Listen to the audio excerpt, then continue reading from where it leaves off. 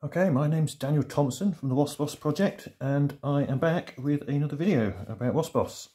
Um, there hasn't been a video for a while, but there's been quite a lot of interesting new developments to look at. Uh, the first of which is having the step counter working. So um, the colour scheme perhaps isn't everybody's taste yet, but um, it has been checked out. If I just bring out a shot and uh, make a jogging motion with my arm for a moment uh, while I keep talking to you, there's a um, anti-noise rejection. So you have to get eight steps and then it retrospectively counts the first eight steps and then counts properly. So you can see there it's increased by about 12 while I've been talking. Um, so that's the first thing. It's step counter, it works. Um, there's not a great deal to say much more on the step count. I, mean, I found it very useful for exercising. It's been quite good in the mornings. Uh, this one makes much better television. Uh, this is my heart rate right now as we sit and look at it. Um, so this is a graph coming directly off the sensor on the back of the system and after 10 seconds about now it starts working out the beats per minute. Now 80 is a bit high for me I have to admit but in order to have a less embarrassing step count I've been jogging just before I made this film so that I could have a step count of a thousand because I haven't actually uh, I've been working on it. I haven't actually had it on my wrist today. So we should see that drop down as we go. Um, but yeah there's a lot of signal processing going into this. So the signal that comes off the watch is really noisy and it needs a lot of filtering. Um, so what you see here is post-filtering. It's been through um, a lot of uh, gain control and low frequency and high frequency um, pass filters um, to, to give us this shape, which is what we actually then run the heart rate detection on. So at the moment, we have a very simple heart rate detector that is based on autocorrelation. It just checks to see when the signal essentially cancels itself out.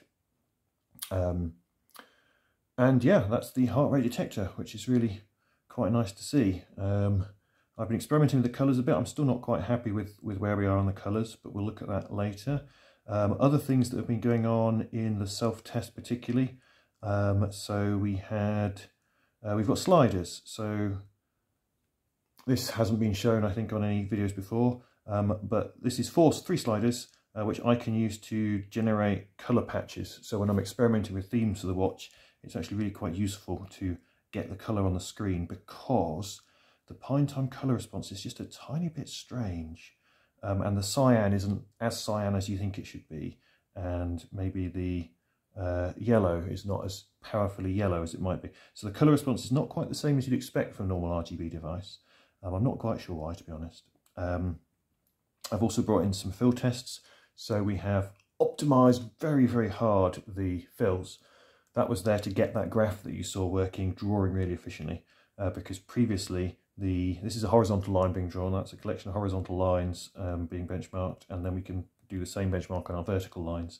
Vertical lines were really inefficient to draw in older versions of wasp-os, so that's been fixed up and made better. And then finally, a very quick glimpse of the future. Um, I'm currently working on notifications, so I've done all the threading work to change the threading model for wasp-os. So anybody who's Wasp tool will now be able to get to the Python console without having to stop the watch. So your watch will still keep working as you work through your, um, uh, as you work at the Python prompt. So you don't have to stop the watch. And that means we're nearly ready now to implement notifications, which is the final kind of smart feature before we can do the next release of WatchOS, uh, wasp-os. Um, and what you're seeing here is basically my testing the notification delivery machinery.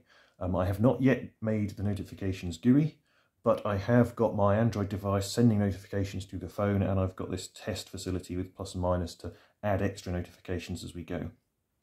Um, so I'm currently working on the Gadgetbridge code um, similar to Espruino, um, to, to, get that working and then we should um, be about done.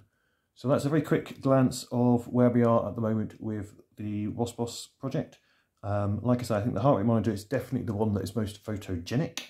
Um, and I'm really pleased with the little graph because um, it does help us understand the data going on here.